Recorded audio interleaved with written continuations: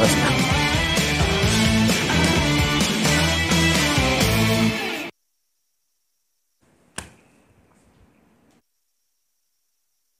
자, 나우 차이나 시간입니다. 오늘은 유진투자증권의 백은비 연구원 연결해서요. 중국 상황 좀 알아보도록 하겠습니다. 연구원님 안녕하십니까? 네, 안녕하세요. 유진투자증권 백은비입니다. 네 네. 우선 중국 증시 한 줄평으로 줄여 주신다면 어떻게 볼 수 있을까요? 어, 경기에 대한 불안감과 부양에 대한 기대감이 좀 대립한다라고 좀 말씀드릴 수가 있을 것 같은데요. 일단 이번 주에 중국이 4월째 실물 경기 지표가 발표가 되었습니다. 모두 시장 예상보다는 좀 약한 모습이었는데요. 어, 그래도 작년 락다운의 영향으로 전반적으로 봤을 때는 이제 가파른 증가세가 기록되긴 했지만 시장 예상보다는 약했다라고 말씀드릴 수 있을 것 같고요. 지난달과 마찬가지로 서비스업 회복세는 강했고 또 제조업은 4월 PMI에서도 나타났듯이 좀 부진한 모습을 보 여주었습니다. 어, 일단 4월 중국 소비 같은 경우는 전년 동월 대비 18.4% 증가에 그치면서 시장 기대치를 하회를 했는데요.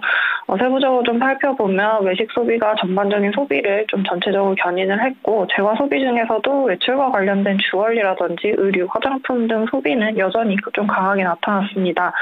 어, 근데 코 로나19 이전까지만 하더라도 이제 재화 소비나 외식 소비가 좀 비슷한 증가율을 보였다는 점을 좀 고려를 하면 현재 재화 소비는 어, 회복이 좀 약하다고 좀 볼 수 있을 것 같고요.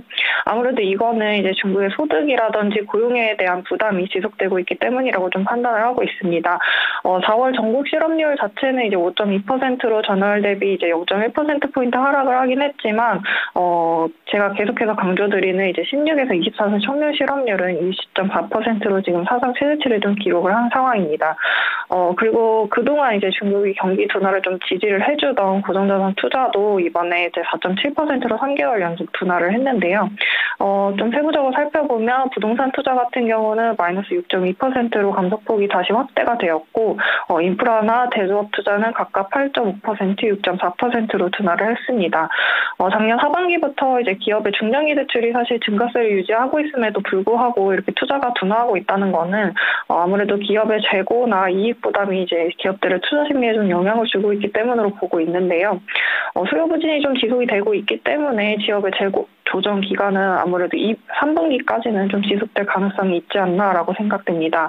어, 그리고 4월 부동산 관련 지표도 이제 중국 면적을 제외하고 다시 위축이 되었는데요. 그래도 좀 긍정적으로 볼 수 있는 부분은 이제 판매 면적이 마이너스 11.8%로 좀 감소폭이 확대된 반면에 판매액은 13.2%로 어, 증가세가 다시 확대가 되었습니다.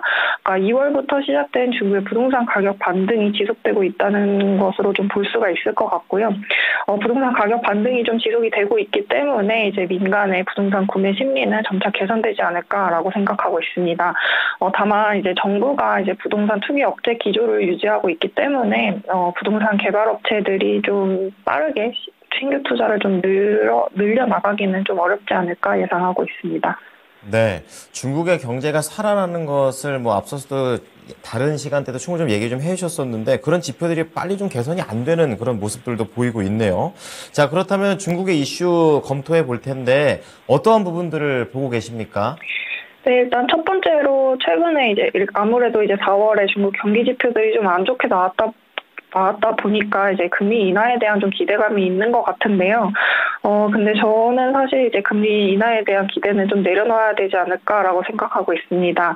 어, 일단 4월에 이제 중국 CPI가 발표가 되었는데 CPI가 0.1%, PPI가 마이너스 3.6%로 시장 예상 하회하면서 좀 디플레이션 우려가 좀 심화가 된 상황입니다. 거기에다가 이제 통화량이나 실물 경기 지표마저도 모두 시장 예상을 좀 크게 하회를 하면서 위안화 약세까지도 두드러진 상황인데요. 어, 어제 오전 열개 시장에서 달러 대비 위안화 환율이 작년 12월 28일 이후로 처음으로 이제 심리적 마지노선인 7위안을 좀 돌파를 했습니다. 어, 물론 단순히 이제 중국 경기가 안 좋아서뿐만이 아니라 이제 미국의 긴축이라든지 이런 달러 강세도 좀 영향을 주긴 했지만 어쨌든 위안화 약세 압력이 계속해서 심화되고 심화되고 있다고 좀 볼 수 있을 것 같고요. 어, 이런 상황에도 불구하고 인민은행은 이번에 1분기 통화정책 보고서를 통해서 이제 중국은 저인플레이션일 뿐이고 디플레이션은 없는 상황이라고 또 2분기 경제가 리오프닝에 따라서 성 장세를 좀 지속할 것이라고 좀 진단을 했습니다. 그 이유 중에 하나로 이제 에너지 가격이랑 식품 가격을 제외한 코어 CPI가 전월과 같은 수준을 유지했다는 점을 이제 예로 들었는데요. 그러니까 이제 중국 경기가 이제 더디지만 어, 회복세가 어쨌든 지속이 되고 있고 현 수준의 금리가 이제 중국의 잠재 성장률이 5%를 달성하는 데 부합하는 수준이라고 판단을 한 것 같습니다. 어, 그렇기 때문에 이제 경기가 안 좋더라도 어쨌든 회복세가 지속되고 있어서 금리 인하라는 강력한 경기 부양책보다 보다는 좀 지준율 인하 정도의 카드를 좀 쓸 가능성이 높다라고 보여집니다. 그리고 두 번째는 이제 중국의 중앙아시아 5개국 정상회의인데요. 이제 오늘과 내일 이틀간 중국의 1대1로 출발지 현시성 시안에서 어, 중국과 중앙아시아 5개국이 다자 정상회의를 개최를 합니다. 어, 이번 회의는 이제 중국이 중앙아시아 국가들이랑 개별 수교를 시작한 지 30여 년 만에 처음으로 이제 대면으로 개최하는 회의인데요. 어, 공교롭게도 이번 회의가 내일부터 이제 일본 히로시마에서 열리는 G7 정상회의 등이랑 시기적으로 좀 겹쳐서 이들에 맞서는 중국이라고 저, 중국의 전략이지 않나라고 좀 생각이 되고요. 어, 또 이번 회의에서 중국은 이제 다소 정체되어 있는 이제 1대1로 전략을 다시 좀 활성화하고 또 미국 견제에 대응하기 위해서 중앙아시아가 좀 다량 보유하고 있는 에너지라든지 자원 교역 강화에 대해서 논의할 것으로 좀 전망을 하고 있습니다. 어, 미국, 미중 갈등이 좀 장기화되고 있어서 이제 양국을 중심으로 공급망 재편이 좀 계속해서 진행이 되고 있는 것 같은데요. 일단 이번 정상회의 이후에 이제 이들의 협력이 좀 빠르게 강화가 된다면 앞으로 이제 중국의 교육 규모 는 어, 글로벌 경기 침체가 진행이 되더라도 어, 크게 위축되지 않을 가능성이 있지 않을까라고 생각이 됩니다. 어, 최근 중국 교육 구조에서도 좀 살펴볼 수 있는 부분들이 이제 러시아라든지 아세안, 중앙아시아의 교역은 굉장히 빠르게 확대가 되고 있고 반면에 이제 기존에 좀 비중이 컸던 한국이라든지 미국, 일본과의 교역은 굉장히 빠르게 둔화를 하고 있습니다. 어, 이런 구도가 앞으로도 계속 심화된다면 아무래도 우리나라가 중국 성장에 좀 기댈 수 있는 부분들이 어, 상당히 약화될 수밖에 없다는 점 좀 주의 해 주시면 좋을 것 같습니다. 네. 중국의 금리 정책이 조금은 이제 완화된, 완화될 수 있을 것 같다라는 점, 그리고 아, 또 G7에 또 대응해서 중국은 중국대로 뭉치는 부분이 있습니다. 조금은 중국과의 이런 거리가 좀 필요하지 않을까 이런 생각 드는데, 어, 그렇다면 마지막으로 중국의 경제 지표 일정들 어떤 것들을 지켜보면 좋을까요? 네, 일단 27일 날 공업기업 경상이익이 발표가 됩니다. 어, 1월에서 3월 이익은 어, 전년 동기 대비 21.4% 감소를 했는데요. 아까 앞서도 말씀드렸다시피 이제 재고 부담이랑 이익 부담이 지속되는 한 중국의 투자도 투자, 둔화 부담이 좀 지속될 수밖에 없는 상황입니다. 어, 수요가 생각보다 더디게 회복되고 있기 때문에 재고 소진이 3분기까지 지속될 수 있다고 앞에서도 말씀드렸고요.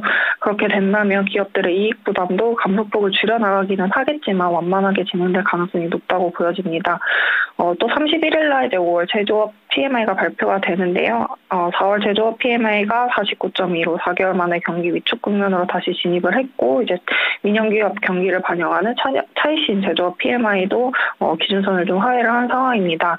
어, 5월에 이제 노정절 연휴 때 소비가 생각보다는 양호했기 때문에 크게 더 나빠지지는 않겠습니다만 이제 경기 회복 모멘텀이 계속 둔화하고 있고 정부가 강하게 경기를 부양하고자 하는 생각은 없기 때문에 당분간은 PMI도 좀 부담이 있지 않을까라고 보여집 니다. 자, 중국 내용들 잘 들어봤습니다. 감사합니다, 연구원님. 네, 감사합니다. 네. 자, 오늘 나우 차이나는요, 유진투자증권의 백은비 연구원의 분석을 들어보셨습니다.